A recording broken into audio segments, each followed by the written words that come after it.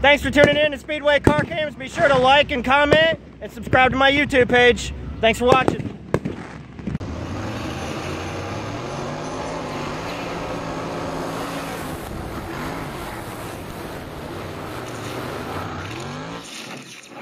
Thank you for watching Speedway Car Cams.